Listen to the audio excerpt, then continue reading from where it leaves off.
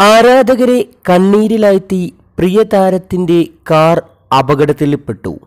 താരത്തിന് ഗുരുതര പരിക്ക്. ഇന്ത്യൻ ക്രിക്കറ്റിലെ പുതിയ സൂപ്പർ താരമായ ഋഷഭ് പന്തിന്റെ കാറാണ് അപകടത്തിൽപ്പെട്ടത്. ഉത്തരാഖണ്ഡിൽ വെച്ചാണ് താരത്തിന്റെ വാഹനം അപകടത്തിൽപ്പെട്ടത്. ഡിവൈഡറിൽ ഇടിച്ച കാറിന് തീ പിടിക്കുകയായിരുന്നു ഇന്ന് പുലർച്ചെയാണ് അപകടം നടന്നത്.